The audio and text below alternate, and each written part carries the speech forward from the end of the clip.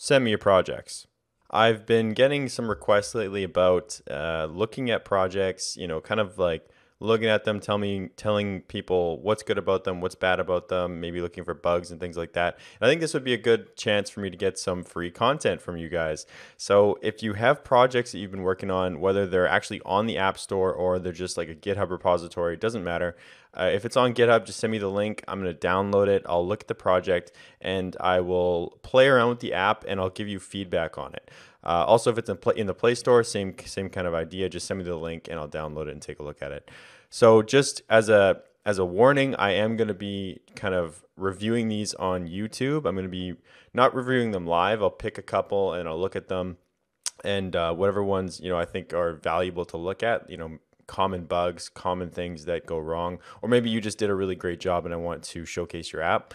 Um, but either way, it's going to be on YouTube. So just kind of be aware of that, that your app could potentially be in front of, you know, hundreds or thousands of people, depending on how well the video does. So right now, I'm not exactly sure what specifically I'm going to be looking for, but in terms of like bugs, um, th- things that come to the top of my head is like, number one, you know, does the app function properly? Does it do uh, random things that it shouldn't do. That's kind of number one. Number two is I'll be looking at the backstack. So checking to make sure that uh, the f- correct fragments get navigated to, the correct activities get navigated to when playing around with the backstack.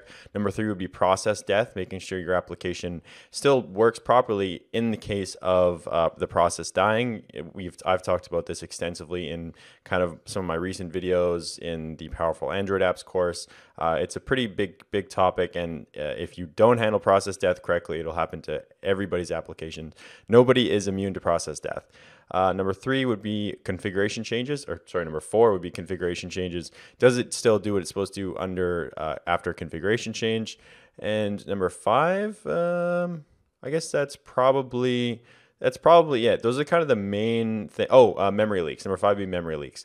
Uh, those would be kind of the five main things that jump out for me. If there's going to be issues in an app, those are the things where the issues will come up more than likely. So how can you send me your applications?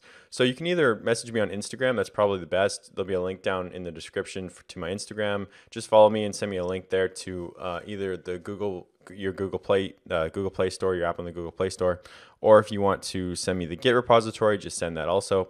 If you if you do send it on Instagram. Um, make sure to only send the link. Like, don't send some text and then the link because it makes it a pain to copy. Because I have to copy the whole thing. I have to then cut out the link and then extract it. So just send me just the link. Uh, that's it, just the link, and then I can copy that very easily. Um, email it to myself, and I can open it up in Android Studio if I need to, or just uh, go download from the Google Play. Uh, so that is probably all I want to say about the topic. Again, I'm going to review these on YouTube, so just kind of be aware of that. Um, don't you know if you don't want your app to be shown in front of people, then don't send me the link.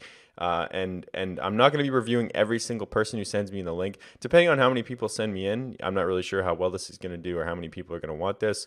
So I'm going to pick kind of a select few that I think uh, show the most valuable sort of learning points. Or maybe you just did something really great, like I said earlier. So thanks for watching the video, and I will see you in the next one.